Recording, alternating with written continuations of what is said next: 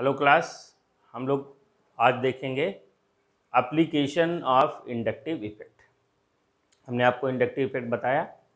अब उसी को आगे बढ़ाते हैं और हम लोग देखते हैं एप्लीकेशंस इसके क्वेश्चन कैसे कैसे आपके एंट्रेंस एग्ज़ाम में पूछे जाते हैं या आपके बोर्ड में किस टाइप से क्वेश्चन आपके दिए जाएँगे। तो अप्लीकेशन ऑफ़ इंडक्टिव इफ़ेक्ट देखते हैं। इंडक्टिव इफ़ेक्ट हमने बता दिया था आपका। Delocalisation of sigma electron in only sigma bond carbon containing compound from less electronegative atom to more electronegative atom is called inductive effect और हमने दो टाइप के इंडक्टिव इफ़ेक्ट के बारे में डिस्कशन किया था minus I effect and plus I effect minus I effect को हमने कहा था इलेक्ट्रॉन विड्रॉइंग इंडक्टिव इफ़ेक्ट मतलब delocalisation of electron away from the carbon atom carbon atom से दूर इलेक्ट्रॉन का डीलोकलाइजेशन होगा। तो हमको एक बात पता होना चाहिए, इंडक्टिव इफ़ेक्ट किस बात पे डिपेंड करेगा, किस फैक्टर पे डिपेंड करेगा? तो हम लोग देखते हैं इंडक्टिव इफ़ेक्ट। इंडक्टिव इफ़ेक्ट की अगर हम बात करेंगे तो कह सकते हैं कि inductive effect directly proportional to electronegativity. जितना ज़्यादा इलेक्ट्रोनेगेटिविटी होगी जितना ज़्यादा इलेक्ट्रॉन को अट्रैक्ट करने की एबिलिटी होगी, उतना ज़्यादा आपका क्या होने वाला है? इंडक्टिव इफ़ेक्ट होने वाला है। तो इंडक्टिव इफ़ेक्ट से कैसे क्वेश्चन आते हैं? किस टाइप से क्वेश्चन आते हैं? मैंने आपको पहले वन बाय वन देखते हैं, हम लोग सबसे पहले देखते हैं माइनस आई से रिलेटेड क्वेश्चन के बारे में। तो माइनस आई इफ़ेक्ट आपका ये भी सिंपल किस पे डिपेंड करेगा? माइनस आई इफ़ेक्ट भी इलेक्ट्रोनिगेटिविटी पे डिपेंड करेगा। माइनस आई इफ़ेक्ट में हमने आपको एक छोटा सा ट्रिक बताया था। अमन नेता साइना को हल्की स्मेल अल्कोहल स्मेल कराई। तो आप देख लीजिए, अमन नेता साइना को हल्की एल्कोहल स्मेल कराई। इसमें आपका अमाइने था एन आर थ्री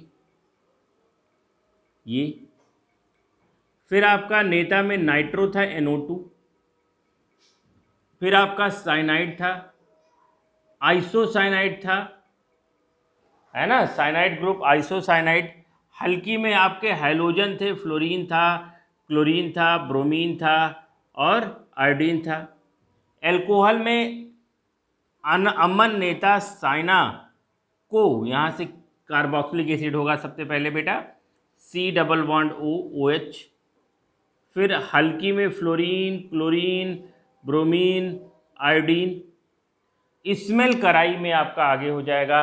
स्मेल कराई में अगर देखेंगे, स्मेल में आपका एरोमेटिक कंपाउंड हो जाएगा बेंजीन और अगर हम लोग कंपेयर करेंगे तो एल्काइन में सबसे ज़्यादा होगा। वो अलग बात है, उसको अभी हम देखते हैं।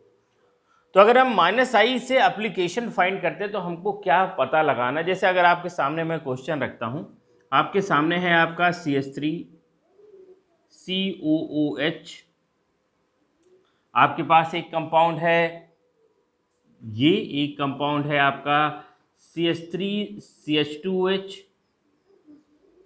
अगर आपके पास एक और मॉलिक्यूल है जिसको कहते हैं आपका C H three C N fourth आपके पास एक मॉलिक्यूल और रख दिया हमने C H three C H two F अगर आपसे पूछा जाए इसमें से सबसे ज़्यादा एसिडिक कौन है, या एसिडिटी के ऑर्डर को आपको क्या करना है अरेंज करना है तो ये थोड़ा सा हमारे लिए डिफ़िकल्ट हो जाएगा।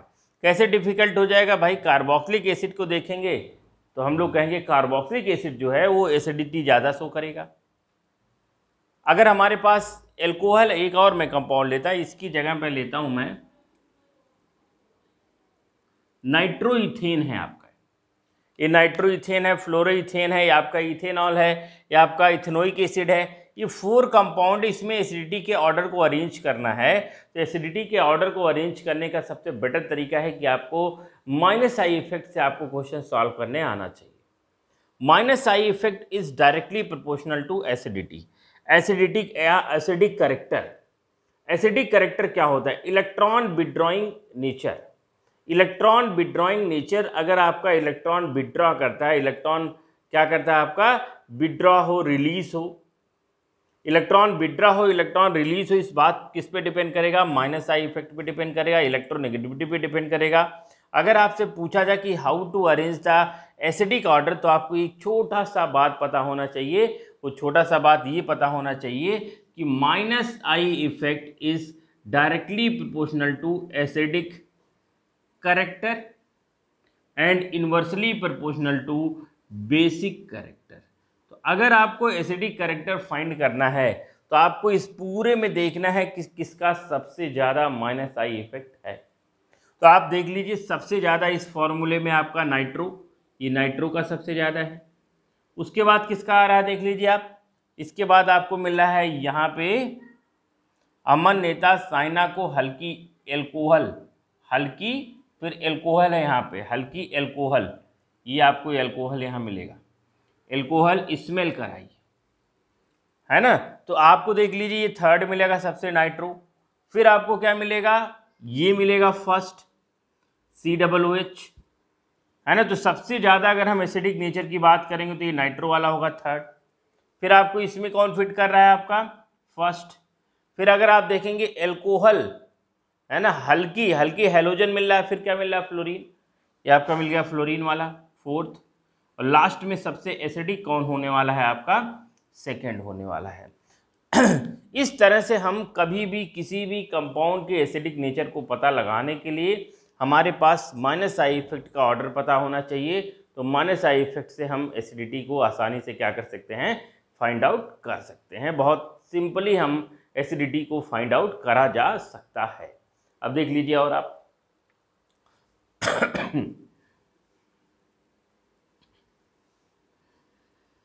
अगर आपके पास दो कंपाउंड हैं, इस तरह से। एक है आपका C H three C H two C L और ये आपके पास है एक C H three C L तो इस तरह से हम इन दोनों में कैसे फाइंड करेंगे किस कौन ज़्यादा एसिडिक है, कौन कम एसिडिक है। इसके लिए भी हम लोग देखते हैं कहानी। ये देख लीजिए कार्बन है, ये हाइड्रोजन ये हाइड्रोजन और ये हाइड्रोजन और यहाँ लगा आपका क्लोरीन इस तरह से इसकी बात करते हैं। इसकी बात देख लेते हैं भाई, ये जो हाइड्रोजन है, ये जो हाइड्रोजन है, और प्लस ये जो कार्बन इससे अटैच है ये कार्बन ये सी एस थ्री इससे अटैच है, और ये आपका क्लोरीन लगा है। तो सिंपल सी बात क्या है आपका? इलेक्ट्रॉन विड्रॉ करेगा इलेक्ट्रोनेगेटिव एटम इसके इलेक्ट्रॉन को अपनी तरफ़ अट्रैक्ट करेगा। ये इलेक्ट्रोनेगेटिव एटम ये भी अट्रैक्ट करेगा तो दोनों इलेक्ट्रोनेगेटिव एटम सेम है। दोनों का अट्रैक्शन सेम होना चाहिए। दोनों की एसिडिटी सेम होनी चाहिए बट ऐसा नहीं है। ऐसा क्यों नहीं कि अगर हम इसमें देखते हैं, इस कंपाउंड में देखते हैं तो कार्बन और क्लोरीन के बाद एक कार्बन और हाइड्रोजन है। जो आपको पता है कि कार्बन और हाइड्रोजन के बीच में इंडक्टिव इफ़ेक्ट की वैल्यू होती है ज़ीरो यहाँ कोई भी अट्रैक्शन या रिपल्सन नहीं होता है। तो इंडक्टिव इफ़ेक्ट कहाँ होगा? कार्बन और क्लोरीन के बीच में, यहाँ पे।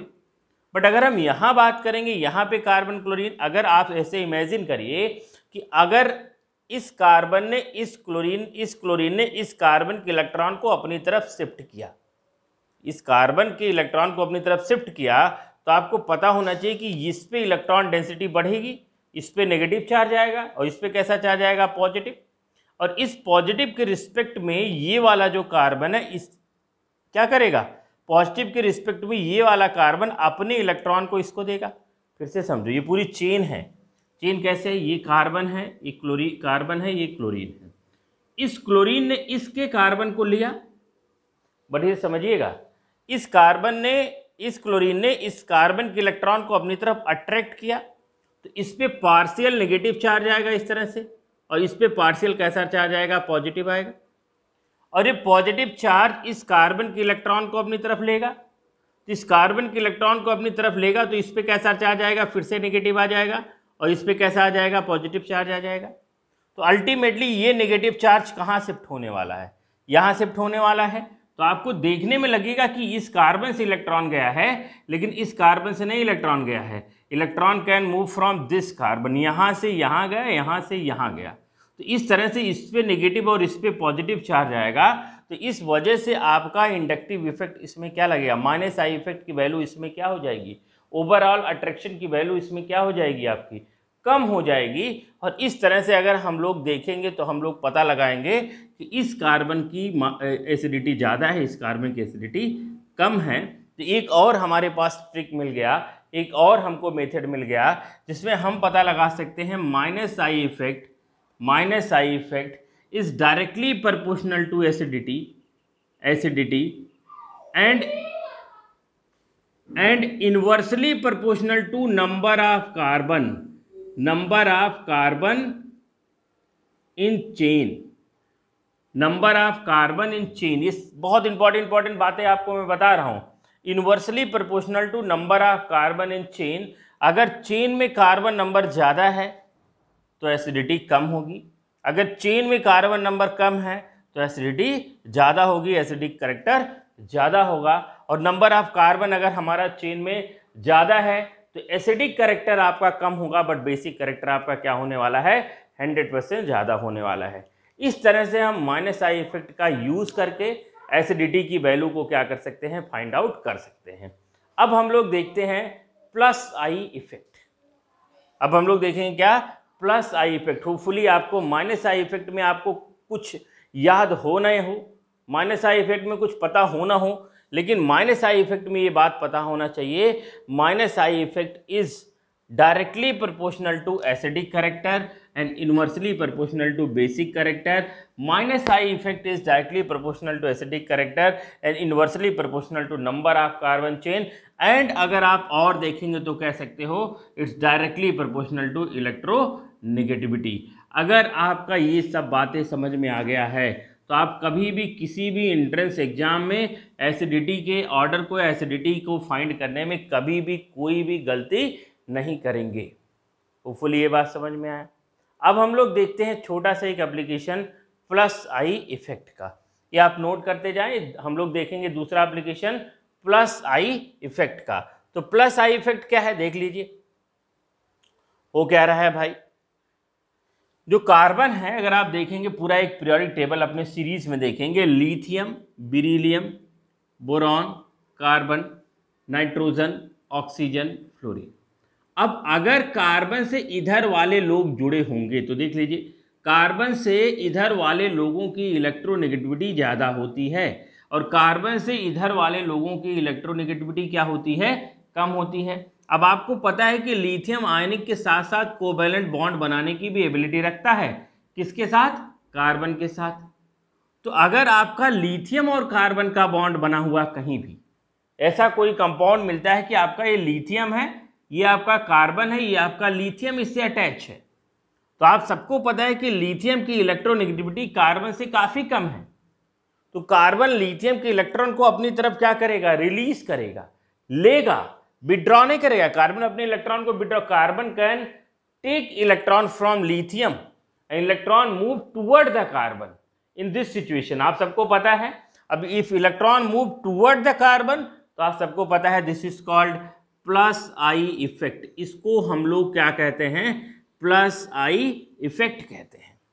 और अगर इलेक्ट्रॉन क्या होता है कि आपको पता है इलेक्ट्रॉन मूव, यहाँ कहीं नाइट्रोजन लगा हुआ आपका NO2 लगा है, इस तरह से। तो आपको पता है कि इस नाइट्रोजन की इलेक्ट्रोनिगेटिविटी कार्बन से बहुत ज़्यादा है। तो ये नाइट्रोजन कार्बन की इलेक्ट्रॉन को अपनी तरफ़ क्या करेगा?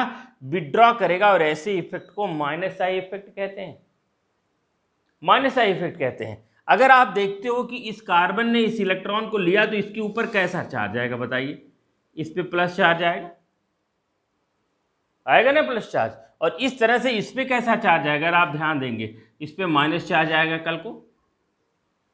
आएगा माइनस चार्ज तो इस तरह से ये जो इस पर पॉजिटिव चार्ज इस पर नेगेटिव चार्ज इस पर कैटायन बनेगा, इस पर एनायन बनेगा। तो मैंने जो इनिशियल में कहा था कि delocalization of electron is very important topic इसके बेसिस पे आपको पता लगने वाला है कहाँ बॉन्ड किस तरह से ब्रेक करेगा, क्या सारी प्रोबेबिलिटी आगे बन के तैयार होंगी। तो ये बात आपको समझ में अब आपको ये बात पता लग गया कि प्लस आई इफ़ेक्ट होता क्या है। अगर कार्बन इलेक्ट्रॉन लेता है तो उसको प्लस आई इफ़ेक्ट कहते हैं। और प्लस आई इफ़ेक्ट का अगर हम लोग ऑर्डर देखने की कोशिश करेंगे तो कैसे देखेंगे? मैं आपको एक्सप्लेन करके इसको बताता हूँ। प्लस आई इफ़ेक्ट के ऑर्डर को एक्सप्लेन करके आपको बता रहा हूँ। देख लीजिए भाई। आपके पास एक कार टर्सरी कार्बन है। आपके पास एक सेकेंडरी है, आपके पास एक प्राइमरी है। इस तरह आपके पास पहले क्या है? आपके पास है सी आर आर आर ये। ऐसा कुछ। फिर आपके पास यहाँ एच लगा दो। ये है आपका एल्किल ग्रुप ये है एल्किल ग्रुप ये हाइड्रोजन ये हाइड्रोजन फिर आपका ये, आपका एल्किल ग्रुप ये हाइड्रोजन ये हाइड्रोजन ये हाइड्रोजन अब आपको देखना होगा क्या? क्या होता है? इस कंडीशन में होता क्या है?